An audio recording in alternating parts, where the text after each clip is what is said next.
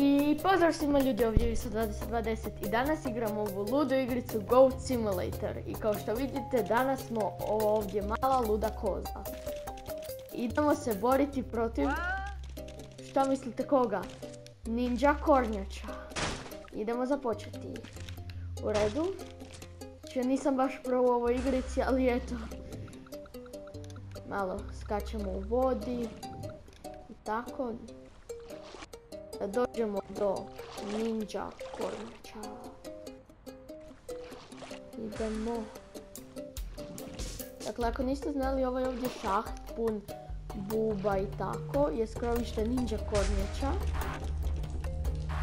Sada smo postali ovako čudna koza. Koja, da, smrtiti se oko sebe. Kao što vidite njena grava je odletila. Ovdje su ninja korniće.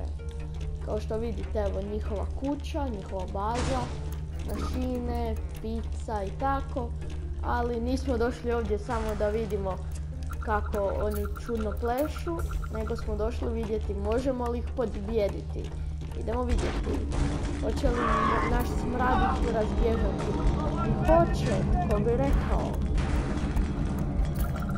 Kao što vidite, ninja kornjače koje žive ovdje se boje smrdljive koze. To je nešto jako Skaču po stropu. U redu, mislim da smo napravili nešto loše jer ne vidim više nijednu kornjaču to. Eto. Ali idemo se za sad još pirati. Iz kanalizacije. Da vidimo koga sve možemo otjerati našim predivnim mirisom koze. Luno park. Može. Dobar dan gospodine, hodate po Luna parku. Mislim da ovaj ovdje nije baš raspoložen. Ali da nađemo drugu metu. Evo ga, vidimo drugu metu. Dobar dan gospodine, čini nam se da izgledate pretist, tako da izvolite. Izgleda da ljudi u ovom gradu jednostavno ne mogu procijeniti kako iz dobre čiste koze.